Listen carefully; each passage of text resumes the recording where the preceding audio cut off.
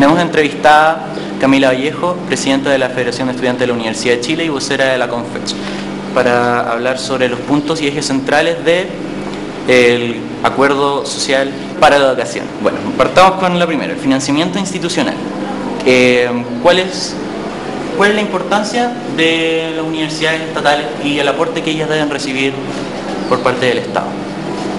Bueno, el tema del financiamiento institucional eh, parte del diagnóstico de que las universidades estatales han sido abandonadas por el, Estado cuando se instauró en el 80 ¿cierto? el Estado subsidiario, donde relega finalmente el garantizar el derecho a educación a las familias, ¿cierto? abre la posibilidad a través de esto de la libre empresa, de que instituciones privadas em, impartan educación sin ningún tipo de regulación, y las universidades estatales eh, y las tradicionales en general lo que caen en la lógica del autofinanciamiento, porque el Estado sí se entiende.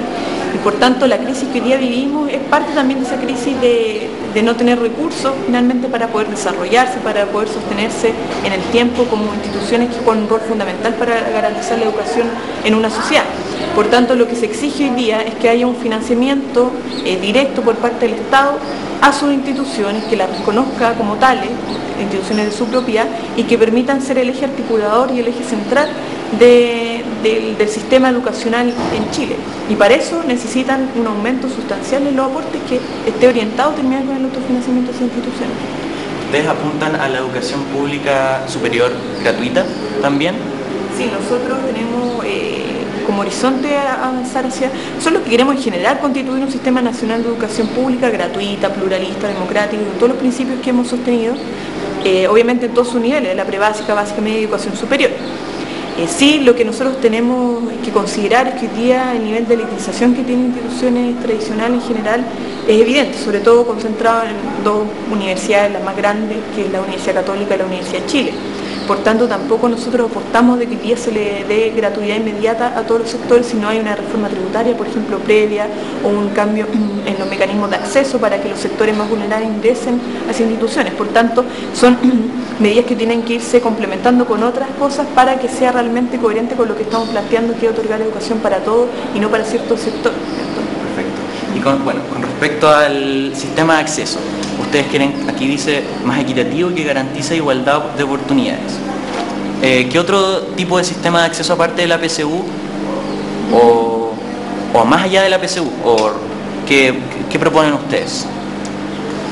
Mira, yo creo que ese es un debate que todavía no está zanjado. Lo que se ha planteado, por lo menos a nivel de la CONFECH, es que se rechaza la PSU por ser un, eh, elemento discriminatorio, ¿cierto? Eh, un filtro de clase, que eso es un, diagnóstico compartido no solamente por los estudiantes, sino que por amplios eh, sectores de la sociedad, los mismos eh, intelectuales han dicho que, la PSU hoy día no constituye un buen mecanismo para seleccionar a los estudiantes para que ingresen a la educación superior. Y eso ha ampliado finalmente las desigualdades eh, en lo que el acceso, sobre todo a las universidades tradicionales.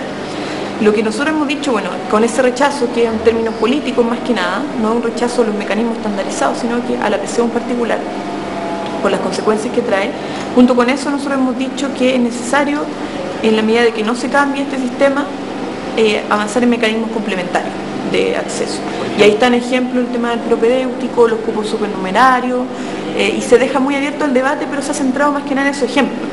Ya no, se asumió una postura porque no hay una propuesta concreta de parte del mundo estudiantil eh, para instaurar un sistema único o un sistema único con mecanismos complementarios asociados. Por ahora lo que se dice es que es necesario tomar eso como ejemplo y evaluarlo y ver si es factible hoy día tener un mecanismo con eh, pruebas estandarizadas, que no, sea, no significa un filtro de clase y además estos mecanismos complementarios que permitan captar a los estudiantes de más bajos recursos en nuestra sociedad que sin esos mecanismos no tienen la posibilidad de acceder eh, a la educación superior. Perfecto. Sistemas de beca y financiamiento estudiantil. El crédito del aval del Estado se plantea su eliminación. ¿Por qué? El problema del crédito son dos cosas. Primero es el impacto social que tiene, o sea, el nivel de endeudamiento que genera, que ya lo hemos demostrado, todas las proyecciones que se hacen respecto a la tasa de interés, que significa finalmente eh, un descuento de tu planilla de remuneraciones de entre un 20 hasta un 30% sobre todo para los sectores más vulnerables, que son los que tienen que postular a estos créditos, porque los que pueden pagar lo hacen al contado, ¿cierto? Entonces hay un impacto social muy grande porque fomenta la desigualdad al egreso incluso.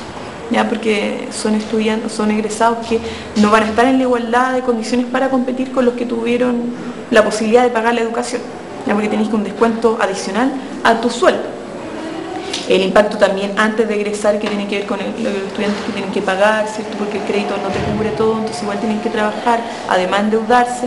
Y por otro lado, eh, el gasto que significa para el Estado, que de alguna manera uno, o sea, después de que se denunció lo perverso de este crédito, se empezaron a ver muchos estudios respecto a por qué el Estado invertía en este crédito con del Estado. Y, y si uno ve, por ejemplo, el gasto que tiene mucho más de lo que se gasta en becas porque subsidia el riesgo que corre la banca privada eh, por el no pago, que finalmente es lo que tiene que pagar el, Estado, y además una sobrecompra de la cartera de créditos que otorga eh, la banca privada, el Estado paga más, paga mucho más. Entonces es un absurdo porque un gasto irresponsable que hace el Estado para financiar finalmente el lucro de la banca privada, porque lucra con esto, y además el lucro que hace la universidad privada al fijar el, el arancel que no tiene ningún tipo de regulación pareciera que los bancos tuvieran más poder que los movimientos sociales en este país. O sea, no es nada nuevo.